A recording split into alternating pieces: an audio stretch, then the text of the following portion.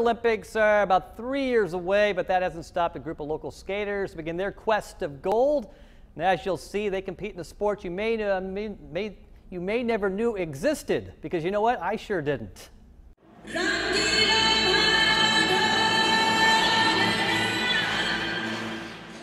Synchronized skaters all have one thing in common. Make sure you set the alarm clock because sleeping in is not an option. Getting up early is tough sometimes. Some of us have to get up at 2.30 in the morning.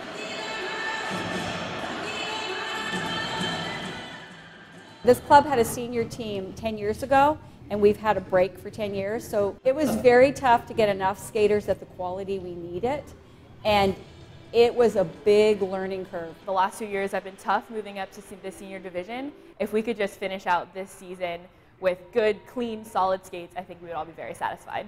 The sport is similar to synchronized swimming. Head coach Karen Wiesmeyer compares her skaters to the Rockettes, only they do it on ice. It's a group of skaters, 16 to be exact, working in unison, skating the same program and competing together.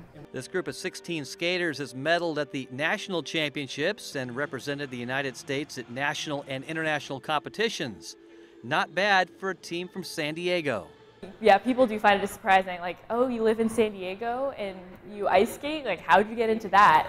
Us representing San Diego is such an honor because you, know, you never hear about skating in general. There are a lot of people who don't even know that ice rinks exist in San Diego. The team will compete at nationals this week, but as far as the future goes, they're hoping synchronized skating becomes an Olympic sport. Really hoping that synchronized skating will be accepted into the Olympics in 2022. Um, we almost made it in 2018. We're just not quite there, but I'm very optimistic.